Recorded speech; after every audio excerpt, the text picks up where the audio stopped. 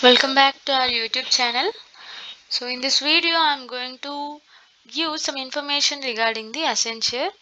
So actually once uh, you have completed with your interview then they will give you a mail that they will give the information uh, what might be the result of your interview within 10 to 15 working days. So they will provide you that mail. So once you complete the 10 to 15 days after your interview then definitely you will get the mail regarding your interview whether you're selected or rejected. So it might take some more two days like 16 to 17 days definitely you'll get the mail. So here you can see once you are selected you'll get Accenture profile creation and document upload.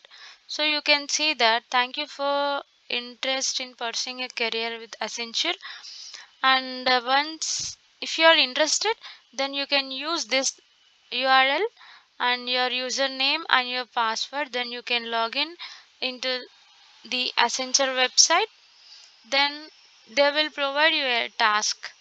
So you have to complete the task nothing but you have to upload all your documents and your personal information for the accenture. So once you click here you will redirected to the Accenture then you have to enter your login ID and password and click this and just click login. You will be redirected to the Accenture. So now here after this mail you will they will give you that about the task. So you have to complete. See we are reaching out to you as one or more multiple tasks have been assigned to you so they have assigned us some task. So we have to uh, finish the task within the two days.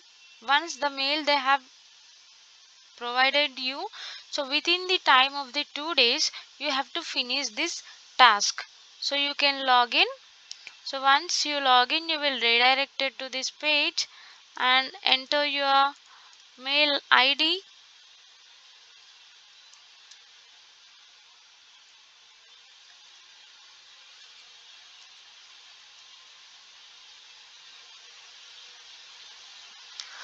click login. Now here you can see home support career and assign task. So just click this assign task and you will be redirected to this page. So you can see uh, whatever if you are unfinished then you have to finish this task. So they have provided some task. So in this you have to provide your personal details address. So you have to submit every single page.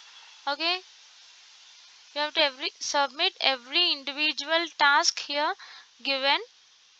So once you are done with your task then it's fine. Then it's all about submitting your task.